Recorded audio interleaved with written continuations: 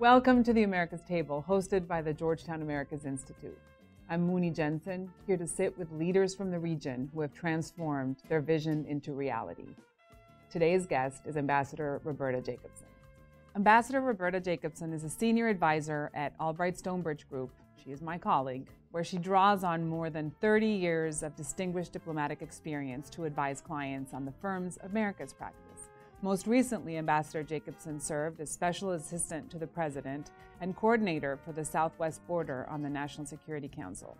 Earlier, she served as U.S. Ambassador to Mexico, where she oversaw the U.S. Mexico bilateral relationship and managed a very broad array of issues, including trade and investment, security, immigration, the environment, and human rights. Previously, she was Assistant Secretary of State for Western Hemisphere Affairs, Deputy Assistant Secretary of State for Canada, Mexico, and NAFTA, among other diplomatic posts. Roberta was a fall 2018 Pritzker Fellow at the Institute of Politics at the University of Chicago. She's regularly interviewed on Latin American business and politics in outlets in the U.S. and in the region. Roberta, it is really a pleasure to have you at the Americas table, and thank you for joining us. Thank you, Muni.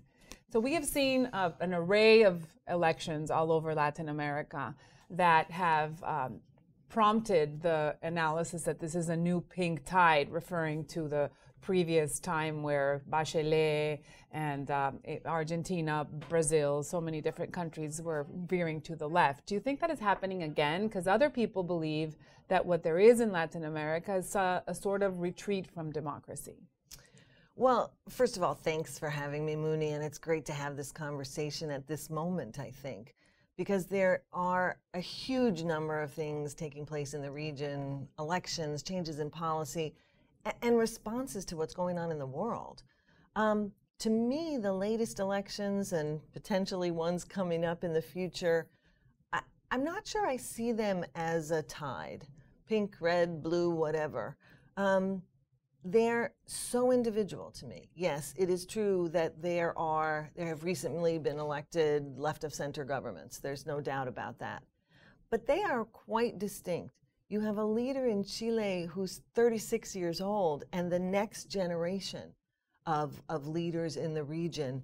And you have a, a president elect in Colombia who is elected after decades of first political activism and um, later um, ruling himself in, in a munic- at a municipal level, um, obviously. And so and is in his 60s, I believe. And so you, you have, I think, really distinct uh, elections. But I also think it's important to understand I don't see these as a retreat from democracy. These are, in some respects, reaffirmations of democracies in the electoral process. People are voting. Um, people, in some cases, have been quite inspired by these leaders. In other cases, there's no doubt they're voting against something, not in favor of something. But I, what I do see, and I think is just as difficult and, and potentially dangerous, is disappointment. I think if there's one word to kind of describe what you see in the hemisphere, in a sense, it's decepcionado. Um, the sense that democracies of the right and the left have not delivered.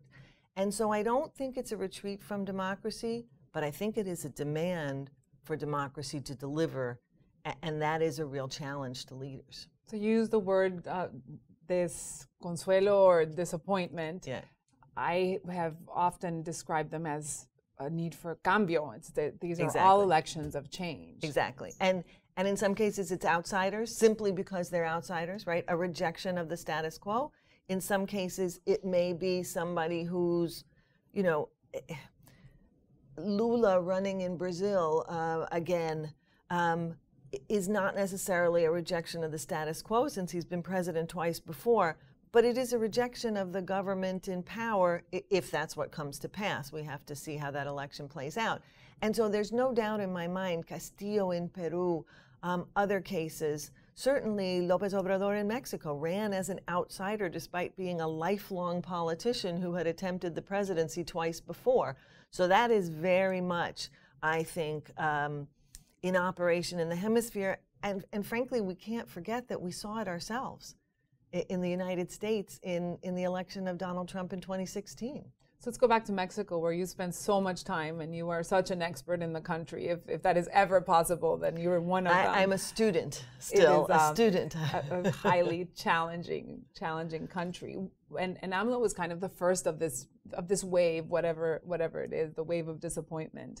Um, what are the main challenges facing Mexico right now? The president is incredibly popular, but there are such tremendous challenges that that it, are happening every day. It's such an interesting phenomenon. You have a president who began at 80 plus percent approval rating, having dropped significantly, he's still at 60 plus percent, which of course most leaders in the hemisphere envy deeply. They would they would love that that level. Um, and yet the challenges are enormous and frankly I think growing, not not receding. There are economic challenges certainly. Um, Mexico has not had more than about two, one and a half to two percent growth um, in the last decade when it needs four plus to really take off, if you will. Um, obviously, most countries in the hemisphere, and Mexico was among them, saw contractions during COVID. Mexico saw an eight or nine percent uh, economic contraction. But you also have continuing security challenges that you know continue to send the homicide rate soaring into new records. You have, um, frankly, an energy policy that looks much more backward looking than forward looking as it is focused almost entirely on fossil fuels, which is not the way most of the world is, is focused.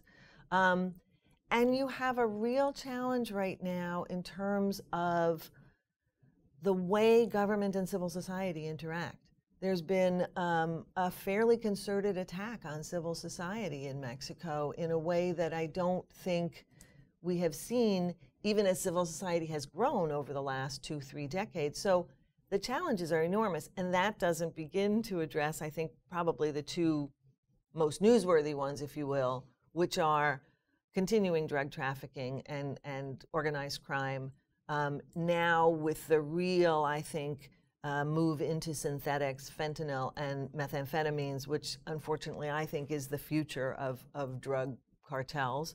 Um, and second, of course, immigration, where Mexico has not just become a transit country, but in fact a receiving country uh, of migrants from all over the hemisphere and increased numbers from Mexico coming into the United States after a number of years of decline. How could the U.S. engage? Uh, there's a lot of Latin Americans that complain that the U.S. has been absent in, in Latin America for a long time. Can the U.S. do more, and in what fields can it really engage more? You know, I think if, if you're a if you're a U.S. policymaker the way I was for 30 years, and you work on Latin America, your mantra is we should be paying more attention right? You, you have spent 30 years trying to tell senior policymakers to pay more attention to this hemisphere, to the Western Hemisphere. Um, so I always think that the U.S. should be doing more and paying more attention. Um, I, think it's interesting because President Biden has a greater history and engagement with this hemisphere than, than most recent presidents. Um, and I think that unfortunately, crises around the world have again uh, uh, diverted his attention from what he would like to do, which is engage more with Latin America. I think, you know, what we saw at the Summit of the Americas in Los Angeles was, in a sense, the instinct of Biden, which is he really does want to engage with this region and do more. Um, I'm not sure it was quite as successful as I might have hoped in terms of concrete um, initiatives. But I think there were some really notable areas where we need to now be aggressive in following up, right? One of those is migration, right? The migration declaration that came out of Los Angeles was different for a couple of reasons. One, I think it acknowledged, and this is really important, that this is not a US or a US Mexico issue. This is a regional issue.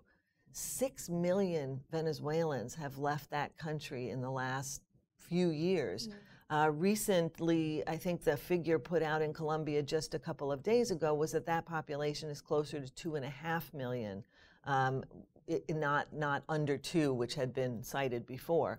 Um, you have populations of Haitians who have lived in Chile or Brazil for the last decade now moving north to try and come either to the US or elsewhere. And so this is a hem and and of course I think we should note folks from outside the hemisphere coming through the hemisphere to try and get to the US. So one it was a truly regional approach, I think which was important. Number 2, for the first time in a very long time, the US and its partners spoke in terms of migrants and migration as an economic driver.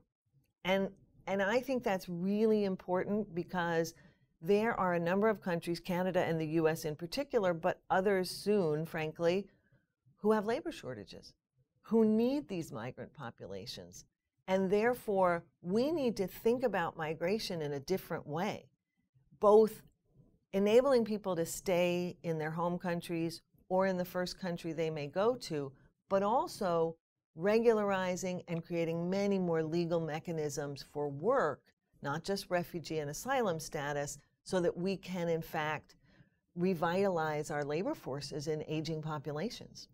And while the U.S. has been distracted with, with other problems, both in the U.S. and out, uh, China has made a, a, tremendous inroad into into Latin America, both as a creditor, as a trade partner, um, participating in the largest infrastructure projects around the region, maybe with the exception of Colombia. I don't know for how long.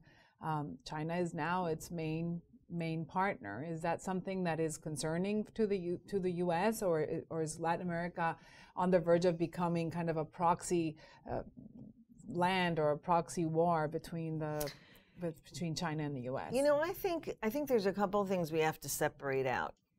In the early 2000s, I think you were looking at a Chinese Latin America relationship on the whole South America, but but not exclusively at the beginning, which was commodity driven, mm-hmm. right? It was it was all about China's rapid rapid growth and the need for commodities, whether those were mining, whether it was soy, cattle, other things. And in some respects, I think China initially tried to translate its model from Africa into Latin America. And that model, of course, brings not only its own labor when it invests, but also in, at times ignorance or, or willful disregard of environmental regulations and other things.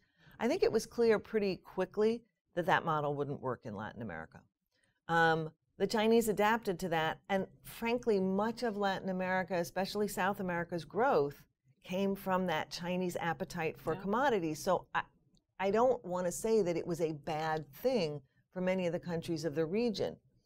But as it developed, what you saw were other projects, infrastructure projects, and things which, frankly, were not necessarily what countries needed. They were not transparent in their, in their bidding process, if you will, and in their construction.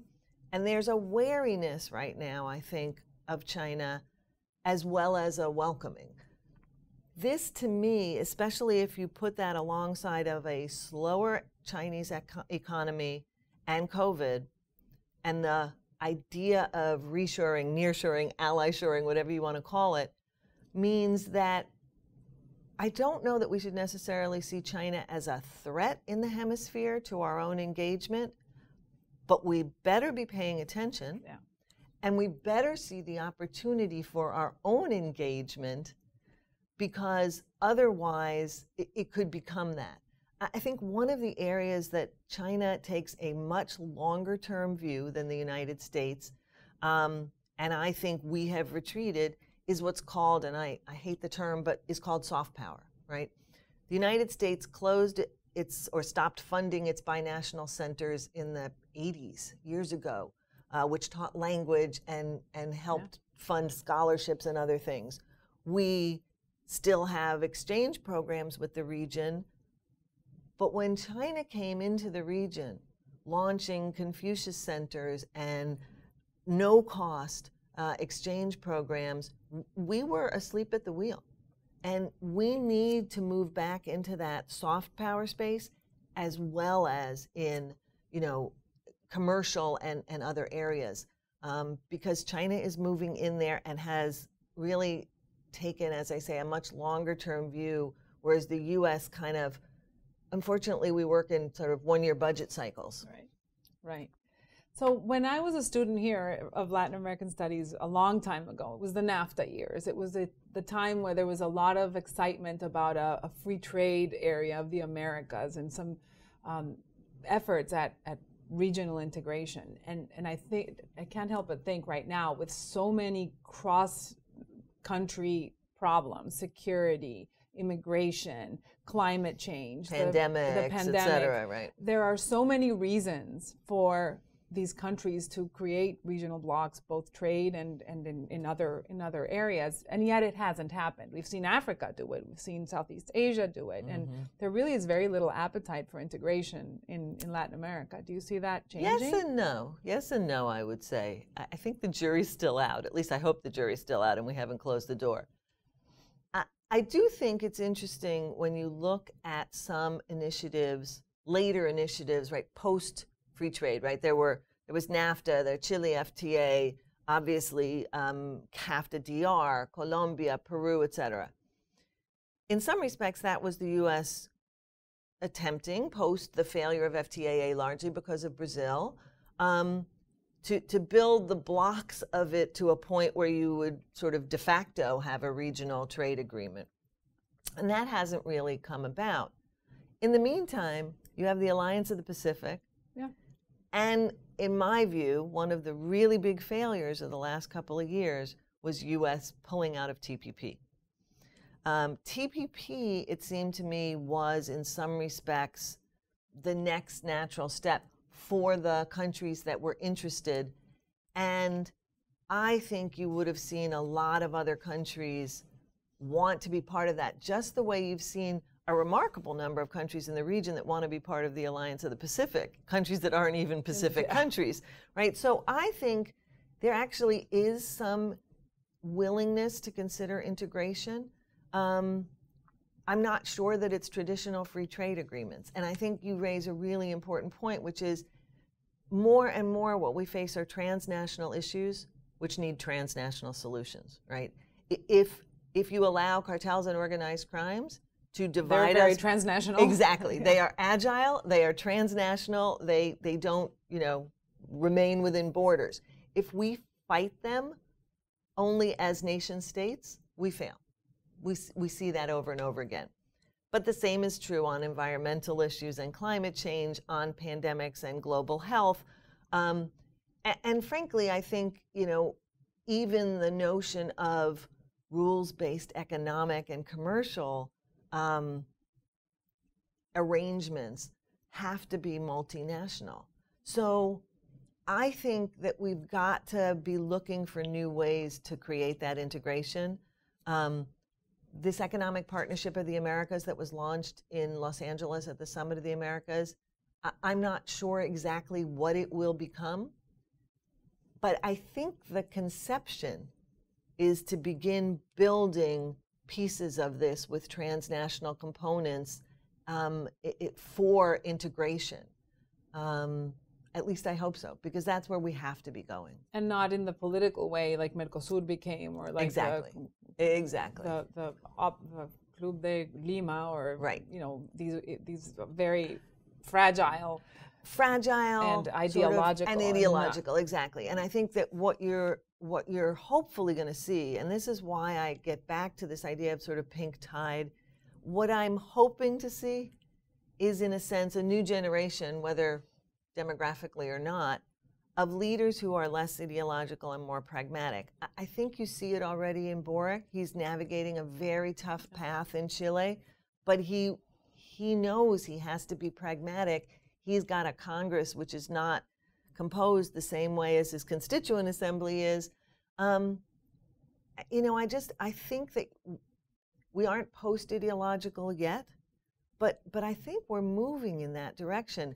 But the U.S. has to be there as a partner, has to be there as a partner. Let's talk about the private sector. You flipped over from after 30 years of, um, of working in, in policy to, to helping companies enter different markets. And sometimes and we struggle trying to get American companies into Latin America, especially for large projects, especially for things that, that require innovation. What is the role of the U.S. private sector, and then also the, the Latin American private sector to in filling the gaps of sometimes uh, governments that are that are underqualified or that are not performing? I, think it's a really important question, and it's been a really interesting exploration for me because I think that the U.S. private sector, I think you're absolutely right, has not always been present. I mean, frankly, we try. We, we do try, but but but one of the problems of confronting what are in very large measure state owned or partially state owned enterprises in China is they can bid on and get involved in projects which, quite honestly, are economically or commercially unviable um, because they're subsidized by their government. Um, that's true in some other countries as well. And whereas with our with the U.S. private sector, if a project doesn't make sense to a company's bottom line, they're not going to play, or if the risk is too great. Now, I think the government has a role to play there with some of our agencies, which need to be fairly, I think, more aggressive in this region. And that includes the former OPIC, now um, DFC, uh, Development Finance Corporation. It includes Exim Bank, which has been sort of under siege for a number of years. It includes TDA, which does, TDA does, Trade and Development Agency does feasibility studies. When companies may not really be thinking that they could do a project, they do the feasibility study, and then the company has a greater sense of, of kind of um, possibility and, and, and lower risk. So I think all of those things are critically important to be working together. Um, but I also think that the private sector in the region and in the US has to pay more attention, and I hope will, to 900 plus million consumers who have a strong preference for US products yeah. if they're given that choice. Um, you know, but we also have to try and mitigate some of the disasters for US companies. When Mexico canceled the expansion of its airport, there were major US companies involved in that construction that was largely complete. And this is the kind of thing that turns US companies off to these markets, even though you and I both know those markets are very differentiated. There's greater risk in some than in others. But, but I think that, that, that, that unfortunately, that legacy um, lasts longer than, than we might hope. Let's flip to your career. How did you start working in Latin America? How did you get so engaged in Mexico? And, and I know it's, it's a love affair that continues, but where did it, it start? So it's really interesting because I, I, have often said to people, you know, what is a nice Jewish girl from New Jersey doing, making her whole career in Latin America? And I think I, I say this somewhat lightly, but it's also true. When I went to college, I was in college as Latin American countries were returning from military rule to civilian rule um, a long time ago. And I was studying political science. I wanted to do international affairs. And Latin America to me seemed like such a laboratory for the democratic experiment. Um, it was so exciting, the things that were happening, whether it was, you know, in, in Argentina and, and the terrible human rights abuses, but the, the first real national commission on disappearances globally. Um, or other places. And so part of it was was just the excitement of that that democratic promise. But there were two other parts of it. I initially thought that I might want to study Asia, um, but I actually had taken Spanish um, earlier in my in my schooling. I was pretty good at it. I had a pretty good ear, and I thought, well, if I if I take if I focus on Latin America, I can you know continue with my Spanish and and maybe become fluent. If I start studying Asia and learning Chinese or Japanese right now, I may not know more than how to write my name by the time I graduate from college. Um, then there was one more factor, and I, I confess to this, which is I, I, have danced since I was 4 years mm-hmm. old. My mother put me into ballet because she knew I was going to be tall, and she wanted me to be graceful because she said she walked into furniture. Um, and so I've danced uh, including all the way through college and, and full time my senior year in college when I was just writing my master my, my undergrad thesis. And the rhythms, the music, the dance in Latin America really appealed to me. And so it was a combination, in some respects, of cultural and political that drew me to the region, a region I still think is the most important to average Americans on a daily basis. And you dance on a regular basis? Well, I dance whenever I can. One of the great things about living in the region is everybody dances at parties or everywhere, dinner or parties, right? Everywhere. Exactly. That's I love great. that. That's great. So this is a, a, a leadership series. What advice would you give to a young student, and especially a young woman who wants to work as a diplomat in Latin America? Don't get discouraged. Um, it can be discouraging, discouraging at times. Um, some foreign ministries are really good at moving women up through their ranks. Colombia has been Yeah. a standout, not just in its career people, but you know how many foreign ministers have been female in All Colombia. I mean, it's really ex- it's an astonishing record.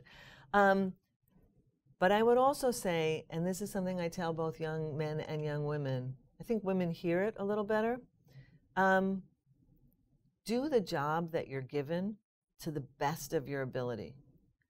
That those initial jobs won't necessarily challenge every fiber of your being. They won't be the most stimulating.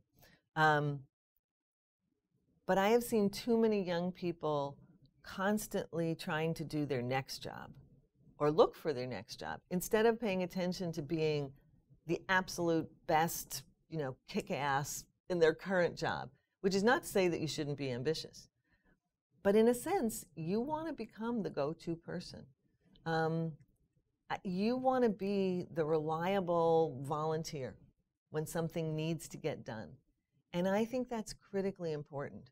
Um, it, it, it, doesn't mean that you shouldn't balance work and, and, and life and, and you know, your career and your family. Um, I have done that on, on occasion, um, becoming one of the first people in the Bureau of Western Hemispheres to do what's called a what was then called a compressed work schedule. I, I took every other Friday off. Um, I did that all the way up through being a deputy assistant secretary, and I had so many people say to me, "How did you do that? How were you able to do that? Nobody does that." And I said, "Well, there's a combination of things. I had good bosses. That is true because the State Department didn't have good regs, Mm. but I asked." Right.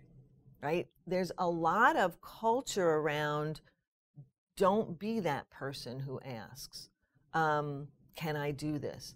And yeah, I worked really hard those other nine days out of 10, but that gave me a little bit of extra time to be with my kids. Um, I also, you know, I got lucky in having a husband who did all the cooking.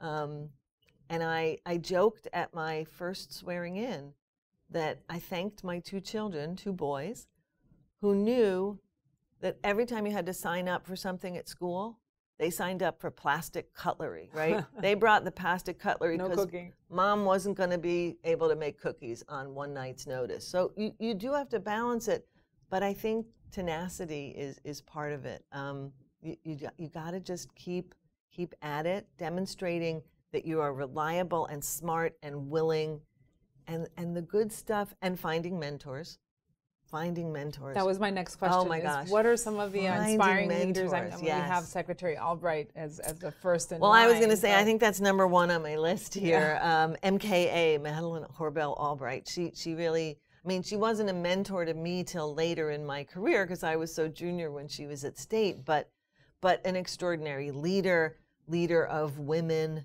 um, and, uh, and I feel so privileged to have known her um, in, in my working life and later in her life. But I had both women and, and men mentors my whole career. Um, some are, are better known than, than others. I mean, Anne Patterson, a five time ambassador at the State Department, career ambassador, who was one of my early bosses, was extraordinary, extraordinary. Um, a tiny little woman from Arkansas who always was super polite and wore Chanel suits. And I can't tell you how many men underestimated her. And I watched that and thought, she's brilliant. She's, she's just brilliant. And she was so helpful. Uh, Donna Hrinak, also a four or five time ambassador in the, in, in the Western Hemisphere.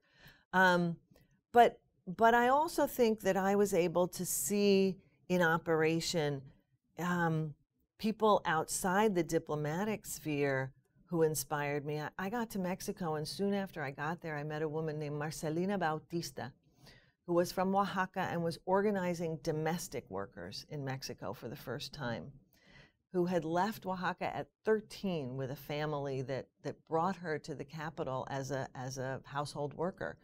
I mean, extraordinary, just an extraordinary woman. Um, you know, so I, I think that I've been very lucky. Early in my career, um, I was doing my, mas- my master's thesis in Argentina, and I watched Luis Moreno Ocampo as the junior prosecutor uh, in the juicio, in the trial of the, of the junta, oh before he became the very famous prosecutor at the ICC um, and got to know him after that when he was founding Poder Ciudadano and, and, and working towards what would eventually be his career at the ICC. These are people who really were very inspiring to me. Um, some of the dissidents I met in Cuba over the years. Um, again, people who didn't always have the biggest spotlight on them. Um, people who were working at the grassroots level, like Jose Daniel Ferrer in, in Santiago de Cuba, um, I, I, just felt, you know, so lucky to meet inspiring leaders, um, but also to have mentors who took the time to educate me, who demonstrated by example, um, and who listened. Who listened? Jeff Davidow, um, former Assistant Secretary for uh, Western Hemisphere and former ambassador to Mexico. So um, I, I just was very lucky in, in the mentors I had. But I will also say for the young women, um, I had experiences that were somewhat uh, difficult as well. Early in my career, it was basically not being taken seriously because I was young, mm-hmm. right? We, we've many of us have felt that. But I also had had a boss who said to me at one point when I was, you know, hugely pregnant, well, I hope you're not going to get too wrapped up in this motherhood thing because we need you back here, which was a really inappropriate thing to say, yes, actually. Um, and I was really, un- really upset. And it was Anne Patterson who who helped me sort of work through that, told me what to do, how to make sure I protected myself and my career, um, even while I was starting a family. Um, so, so I think that that women face challenges in the workplace that others don't. Young women do, especially. Um, but but there are so many great examples of of people who've done extraordinary things.